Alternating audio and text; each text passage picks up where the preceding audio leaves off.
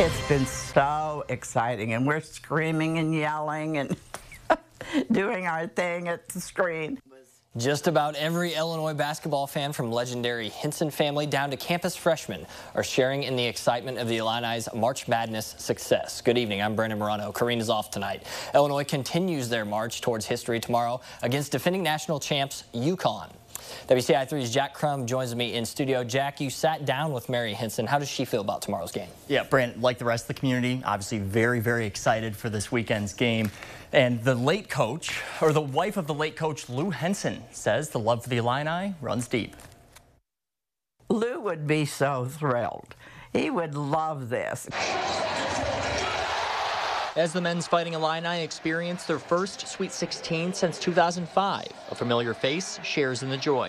They've come a long way. Of course, I've been watching them all the time develop, and oh, they have done so so well developing this team and putting them together. Mary Henson was the wife of the Illini's all-time winningest coach Lou Henson and an avid community supporter. We had so many wonderful fans. Still do. She came back early from her other residence in New Mexico to watch with friends as the Illini continue their march. This time of the year brings back great memories, and I'm so proud of this team. She also saw the women's team as they advanced to the semifinals of the new WBIT tournament. We're so proud of those girls. Oh my goodness.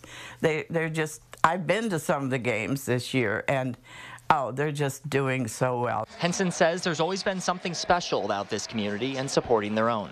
The community was so wonderful to take us in and make us one of theirs.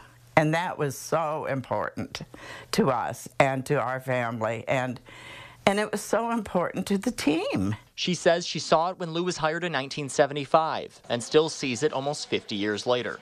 There's uh, hardly any other school that that actually backs their players the way that fans do here. I mean, they're fabulous. They've always been fabulous fans. Henson says she's excited for Saturday's game versus UConn. We're going to have a, a little get together to watch the game coming up on Saturday, 509, if I'm correct.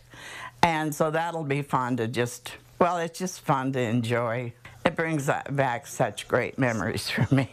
Her advice, just play Illini basketball, which to Coach Lou simply meant just focus on winning and work your tail off.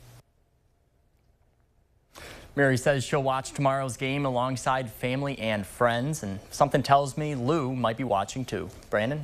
Oh, he sure will. Thank you, Jack. If you